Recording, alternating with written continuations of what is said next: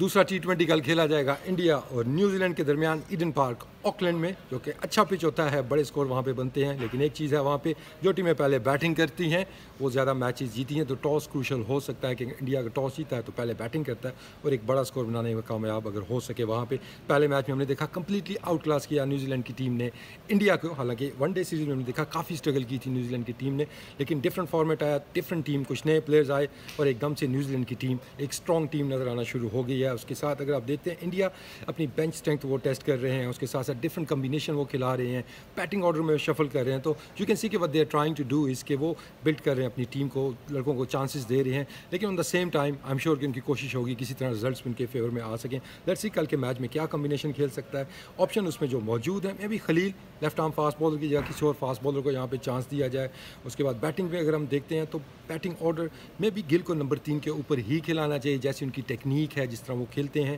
ٹھیک ہے، پچھلے میچ میں تھوڑا سا ٹارگیٹ بڑا تھا جس کی وجہ سے شنکر کو پروموٹ کیا گیا تھا لیکن آئی تھنک اگر آپ نے ینگسٹر کو چانس دینا ہے تو ان کو اوپر ہی کھلانا ہوگا بالنگ کے اندر شدت سے کمی محسوس ہوئی کلدیپ یادیو کی کہ ٹاپ بالرز میں ان کا نام آتا ہے ٹی ٹوینٹی کی اگر آپ بات کرتے ہیں تو دونوں ریس اسپنرز اگر کھیلتے ہیں چہال بھی کھیلتے ہیں کلدیپ یادیو بھی کھیلتے ہیں تو کافی زیادہ اسٹرانگ ہو جائے گی انڈین بالنگ لائن اپ لیکن جو پرابلم چل رہا ہے بیٹنگ لائن اپ کا Rohit Sharma as a captain let see کہ وہ انڈر پریشر جو کپتانی کا ان کے اوپر پریشر ہوتا ہے، اس کے بعد ہی پرفارم کر پاتے ہیں کہ نہیں کر پاتے ہیں، کیونکہ ایک کوشچن مارک ان پہ آتا ہے کہ انڈر پریشر جب ہوتا ہے، کپتانی کا ان پہ پریشر ہوتا ہے، تو اس طرح کی بیٹنگ ان کی نظر نہیں آتی ہے، جو کہ وراٹ کوہلی کی ہم دیکھتے ہیں کہ جب وہ کیپٹن ہوتے ہیں، جب سے وہ کیپٹن ایٹ لیسٹ جب بنے ہیں، اس کے بعد سے ان کی پرفارمنس میں اور زیادہ نکھار آیا ہے۔ تو روہت شرما کو بھی پرفارم کرنا ہوگا ایز اے کیپٹن بھی ان کے ساتھ شیکھر دھاون کی طرف سے بھی ایک بڑی اننگس کی توقع کی جا سکتی ہے، کیونکہ دونوں اوپنرز آپ کے ہیں سیزن اوپنرز ہیں پرفارمرز ہیں۔ نارملی آپ نے دیکھا کہ سارے فارمیٹس میں اسپیشلی وائٹ بال کرکٹ میں اچھا پرفارم کرتے ہیں، لیکن ان میں سے ایک بڑی اننگس کھیلے گا، تبھی انڈین بیٹنگ لائن اپ چل سکتی ہے۔ ڈاؤن دی آرڈر کافی آپشنز موجود ہیں۔ ہارتک پانڈیا اگر ہم دیکھتے ہیں،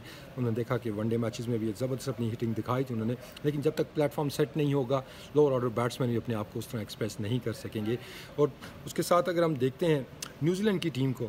کہ ہم نے دیکھا جیمی نیشم آئے تھے آخری میچ کے اندر، تو جیمی نیشم کو کسی طرح ٹیم کے اندر لانا ہوگا نیوزی لینڈ کو، کیونکہ ایک اچھی فارم ان کی چل رہی ہے، وہ بھی پاور ہٹنگ بھی کر لیتے ہیں، کافی یوزفل کرکٹر ہیں۔ تو لیٹ سی کہ ان کو کس کی جگہ لا سکتے ہیں۔ وہ میں بھی کالن ڈی گرینڈ ہوم ہم نے دیکھا اس طرح وہ فائر نہیں کر رہے ہیں۔ تھوڑی سی بالنگ کی جھلک ہمیں نظر آئی تھی اور یہ سیریز میں، لیکن بیٹنگ میں ابھی تک اس طرح انہوں نے فائر نہیں کیا ہے۔ تو جمی نیشم کو شاید کل چانس دیا جائے نیوزی لینڈ کی جانب سے۔ لیکن کنڈیشنز جو نارمل کنڈیشن ہوتی ہیں ایڈن گارڈن کی، وہاں پہ اسکور تو بنتے ہیں، وہاں پہ، لیکن بال اگر تھوڑا سا ٹرن ہوتا ہے پچ کے گرپ ہوتا ہے بال تو انڈیا کو ڈیفینیٹلی اس کا فائدہ ہوگا۔ So let's hope for a better show tomorrow from the Indian side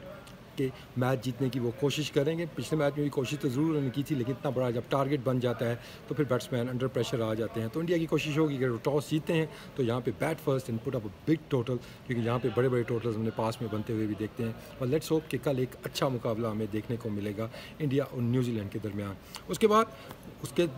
بعد جو میچ اسٹارٹ ہونے جا رہا ہے ویسٹ انڈیز کے اندر تیسرا ٹیسٹ میچ ویسٹ انڈیز کا مقابلہ انگلینڈ ویسٹ انڈیز نے پہلے دو میچز میں امیزنگ پرفارمنس دی اور دونوں میچز جیت کے سیریز آلریڈی جیت چکے ہیں جس کی ایکسپیکٹیشنز نہیں تھی کیونکہ انگلینڈ کی ٹیم کو دیکھتے ہیں تو کافی اسٹرانگ ٹیم ان کو سمجھا جاتا ہے لیکن بگ ٹائم اسٹرگل کی ہے سو فار انہوں نے ویسٹ انڈیز کے اس ٹور کے اوپر اور تھوڑی سی ہمیں جھلک نظر آئی ہے ویسٹ انڈیز کی جو پرانی ایک ٹیم ہوتی تھی اس ٹیم کے اندر کریڈ جاتا ہے جیسن ہولڈر کو جس طریقے سے انہوں نے اپنی ٹیم کو لیڈ کیا ہے پرفارمنسز دی ہے لڑکوں سے اور ان کی اپنی پرفارمنس زبردست تھی لیکن سیڈلی اگلا میچ وہ مس کریں گے کیونکہ سلو اوور ریٹ کی وجہ سے وہ بین ہو چکے ہیں تو ان کی جگہ کریک بریتھ ویٹ کل کپتانی کریں گے ویسٹ انڈیز کی ٹیم کی۔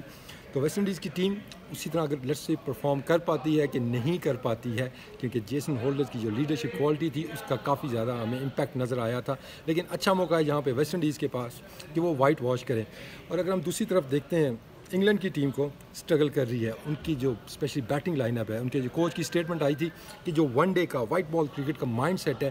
اسی مائنڈ سیٹ کے ساتھ ان کے بیٹسمین ٹیسٹ میچ کھیل رہے ہیں، جس کی وجہ سے وہ اسٹرگل کر رہے ہیں۔ تو کوئی بڑی پرفارمنس کسی نہ کسی کو دکھانی ہوگی اسپیشلی ان کے captain Joe Root seasoned player ہیں ٹاپ پلیئرز میں ان کا نام آتا ہے، لیکن ابھی تک کوئی بڑی اننگز اس طرح کی ان کی جانب سے نظر نہیں آتے۔ تو انگلینڈ ہوپ کر رہا ہوگا کہ وہ فارم میں واپس آئیں کہ بڑی اننگس کھیلیں۔ اس کے بعد ویسٹ انڈیز کی طرف سے دیکھتے ہیں کمپلیٹ آپ کو ٹیم پرفارمنس نظر آ رہی ہے کنٹریبیوشن نظر آ رہی ہے آپ کو بیٹسمینوں کی جانب سے۔ چاہے آپ بریتھ ویٹ کی بات کریں، چاہے آپ کیمبل کی بات کریں شے ہوپ کی بات کریں ایرن براوو کی آپ بات کریں۔